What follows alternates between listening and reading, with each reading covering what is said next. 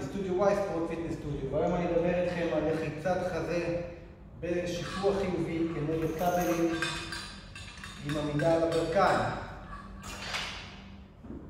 קבצים את הבטן, הולכים את החזה, מכניסים אוויר, לוחצים, מורידים,